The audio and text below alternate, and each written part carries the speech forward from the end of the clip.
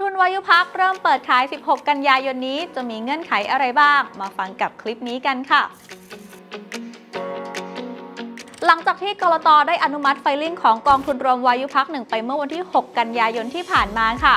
ล่าสุดก็ได้เคาะวันจองซื้อสำหรับประชาชนทั่วไปออกมาแล้ว นั่นก็คือวันที่ 16 ถึง 20 กันยายน ที่ราคาหน่วยละ 10 บาท เริ่มต้นขั้นต่ำที่ 10,000 บาทค่ะ และจะเพิ่มขึ้นครั้งละ 1,000 บาท แต่สิ่งที่นักลงทุนหลายท่านยังคงสงสัยกันอยู่ นั่นก็คือถ้าสนใจซื้อกองทุนวายุพักในรอบนี้ จะต้องมีเงื่อนไขอะไรบ้าง แล้วจะได้รับผลตอบแทนกลับมาเท่าไหร่ เดี๋ยววันนี้ติ๊กตอกข่าวหุ้นธุรกิจจะมาสรุปให้ฟังกันค่ะ การถือครองหน่วยลงทุน ผลตอบแทนรายปี แล้วก็การชำระคืนเงินลงทุนของกองทุนรวมวายุพักหนึ่งก็จะแบ่งออกเป็น 3 กรณีด้วยกันค่ะ กรณีแรกก็คือหากถือหน่วยลงทุนมาตั้งแต่ต้นจนครบ 10 ปี ก็จะได้รับเงินปันผลตามผลตอบแทนจริงไม่น้อยกว่า 30 สตางค์หรือ 3%ต่อปี แล้วก็ไม่เกินกว่า 90 สตางค์หรือว่า 9%ต่อปีค่ะ และเมื่อถือหน่วยลงทุนมาครบ 10 ปีแล้ว ก็จะได้รับเงินลงทุนคืน 10 บาท ในกรณีที่มูลค่าทรัพย์สินสุทธิหรือว่า NAV ของกองทุน สูงกว่า 150,000 ล้านบาทส่วนในกรณีที่ NAV ต่ำกว่า 150,000 ล้านบาท ก็จะได้รับเงินคืนน้อยกว่า 10 บาท ต่อมาในกรณีที่ 2 ค่ะ คือหากนักลงทุนถือหน่วยลงทุนมาตั้งแต่เริ่มแรก และเอามาขายในตลาดรองก่อนที่จะครบ 10 ปี ก็จะได้รับเงินปันผลไม่น้อยกว่า 30 สตางค์แล้วก็ไม่เกิน 90 สตางค์เช่นเดียวกัน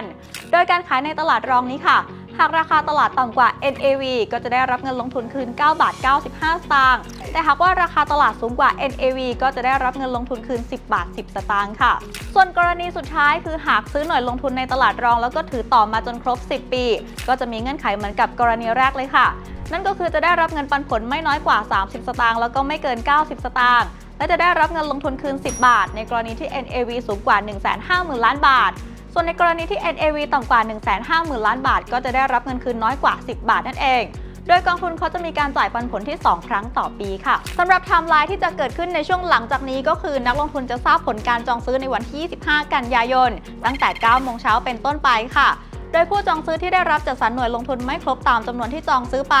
ก็จะได้รับเงินคืนภายใน 7 วัน หลังจากนั้นค่ะกองทุนก็จะเริ่มเข้าลงทุนในตลาดหุ้นไทยวันที่ 1 ตุลาคม และจะเริ่มซื้อขายหน่วยลงทุนกันได้ตั้งแต่วันที่ 7 ตุลาคมนี้ค่ะ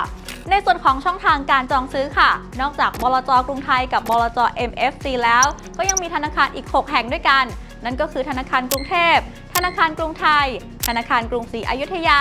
ธนาคารกสิกรไทย ธนาคารไทยพาณิชย์ แล้วก็ธนาคารออมสินค่ะ โดยสามารถจองซื้อได้ทั้งระบบออนไลน์แล้วก็ออฟไลน์ ตามแต่ละสาขาของธนาคารได้เลยค่ะ